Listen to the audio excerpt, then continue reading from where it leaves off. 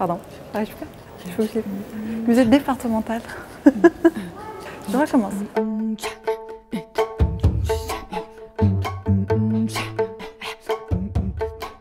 Moi, je souhaitais vous parler de la dernière section du musée de l'art antique, cette section qui clôt le parcours euh, thématique et chronologique, puisqu'on termine avec le domaine des morts, tout ce qui va concerner les pratiques funéraires, et puis surtout chronologique, puisqu'on va terminer l'Antiquité, ce qu'on appelle l'Antiquité tardive, avec le changement de religion et les, euh, les premiers chrétiens, ce qu'on appelle aussi le passage d'un monde à l'autre.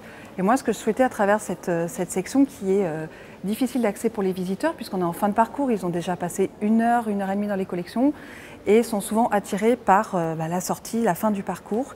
Et ici, on dispose quand même d'une collection de sarcophages qui est la deuxième après celle de, Rome, qui est conservée au musée du Vatican. Et euh, l'idée, c'était de savoir comment eh bien, on peut faire euh, prendre conscience de cette importance ici à travers ces sarcophages, qui sont des tombes, et de montrer comment les élites euh, arlésiennes sont passées en un siècle d'un monde à l'autre, c'est-à-dire d'une religion à une autre.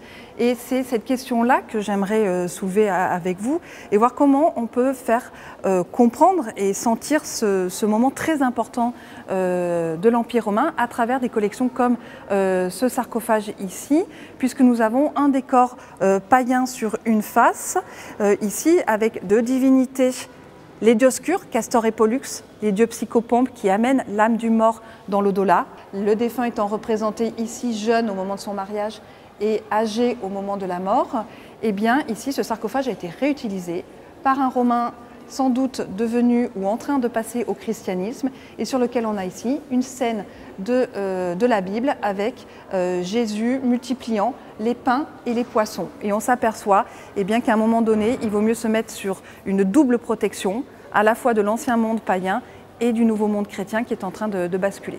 Et c'est cette question-là qui euh, m'interroge et que euh, j'aimerais pouvoir euh, mettre en débat auprès des muséomuxeurs.